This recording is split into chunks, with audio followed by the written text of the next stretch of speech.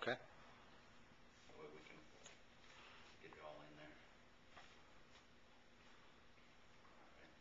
Right foot steps back into a front stance, make the X in the left low block.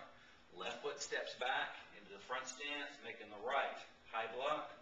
Point the right hand, left reverse punch. Back leg is a front kick, lands forward into a left front stance with a right reverse punch. Right foot does a front kick, lands forward into a right front stance with a left reverse punch and a right front punch. From there, the right foot steps all the way over in line with the left foot. The left foot gathers feet together as we chamber the inner forearm block. The left foot steps out into a back L stance and we do the left inner forearm block. From here, it's just like starting over. The front leg, left leg, steps all the way back into a right front stance, make the X, and the right low block.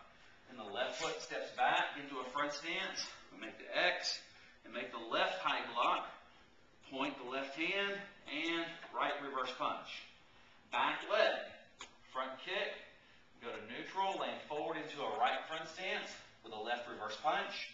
Left front kick, land forward into a left front stance with a right reverse punch. Left front punch. Now the left foot steps over in line with the right foot. The right foot gathers to neutral. Make our, our chamber for our inner forearm block, right hand on the outside. The back L stance, right inner forearm block. And there, the front hand goes straight, back hand bends palm away. We step back with the right foot into a left front stance and make the left crossing block. Point the left hand, right reverse punch. The front leg, left leg comes back to neutral, and the left leg goes out into a horse stance with a left side punch. From there, we step feet together with the hands up, left leg, side kick, and land forward into a horse stance with a left knife hand strike. From there, the right hand bends, palm backwards. Step back into a right front stance with a right crossing block. Reach out, left reverse punch. Comes back to neutral.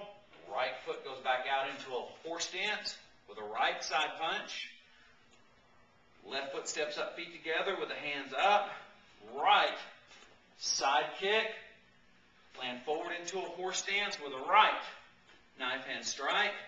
From there, the right foot spins around to the left. Will land into a back L stance with a double guarding block. The right foot steps forward into a right front stance with a right punch. High. Right foot returns back to ready stance.